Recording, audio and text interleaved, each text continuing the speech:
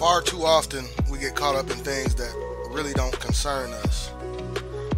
Why should I care how much money that you're making if we're not making money together and I'm not getting any of it? Why should it matter to me who you're sleeping with? I mean, if we're not in a relationship together, what does that matter to me? It's none of my business who you love. I don't even look at stuff like that.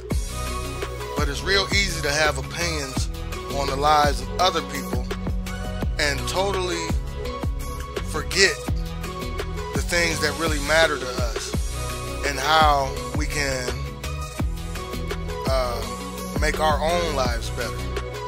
It's a lot of wasted time and energy being concerned with things that really have nothing to do with us. Why should I care who eats pork? I eat pork. Should you be upset with me for eating pork? I don't think that's any of your business. Um, my diet is going to affect my health. And when my diet affects my health, yes, it could ultimately affect people that I love and care about. But it's up to me to make those changes in my diet if I want to take my health more seriously. Um, but that's all on me. It's not up to you, and you shouldn't be concerned with that. And it's so many times that people are just so consumed with things that are outside of things that matter to them, but they make a false value system to these things.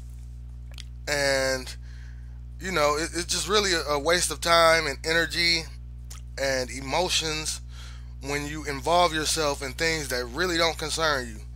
So, with that being said, just do you, make yourself happy, and when you're happy, other people will be happy for you.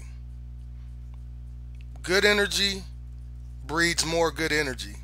And when you put yourself in a good space, you attract people that are in a good space and all that negativity and all that crap that has the ability to pull you in a direction that's unhealthy and unfulfilling, do not feed into that. Because when you feed into that, you're going to get more of that and you're going to be miserable.